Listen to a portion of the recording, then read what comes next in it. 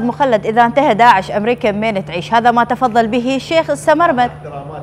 أمريكا يعني يعني هي ليس يعني تعيش في هيكليتها أو الياتها العسكرية والشركات والصناعات الأمريكية يعني بمجرد أنها موجود داعش وهي تحتاج على هذه الدول. بالمناسبة يعني اليوم اللي نتكلم عن التحالف نتكلم عن التحالف الدولي. التحالف الدولي ترى اليوم ما بقى يعني بالعدد الذي تم انشاؤه في عام 2014 بالكميه لو بالنوعيه لا لا هو يعني هو أكو أكو أكو دول بها نفر يعني أكو بها دول ثلاثة أكو بها ده تاخذ فلوس على محاربة داعش تاخذ فلوس يعني بالعكس أمريكا قاعد تعطيهم فلوس.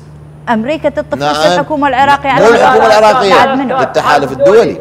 التحالف الدولي. الدولي من ياخذ؟ التحالف الدولي. شو تقول أستاذ سمرمد؟ محاربة داعش.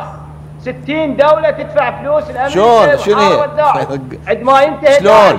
شلون تدفع لهم؟ ما حد ينطيها فلوس آلية تدفع لهم بأي آلية تدفع الفلوس؟ 15 شخص بأي آلية تدفع لهم؟ موجودين بالصحراء. هم لاستفادة أمريكا يوم أمريكا شوف محتاج محتاج أمريكا هذا هذا لا لعديش كل ساعة تهددنا لعديش كل ساعة تهددنا بداعش كلام مو منطقة أجندات الأمريكية كلام الأجندات الأمريكية مو بقية مو بقية التحالف الدولي على مدار مو بحد فكرتك مو بحد فكرتك شيخنا الكريم. بالصحراء ممنوع أحد يعبرها. أي يقول لك أكو بعض المناطق بالصحراء ممنوع أحد يعبرها. زين شنو التفسير؟ الأجندة الأمريكية لا آني ولا أنت نقدر نفهمها والياتها للمستقبل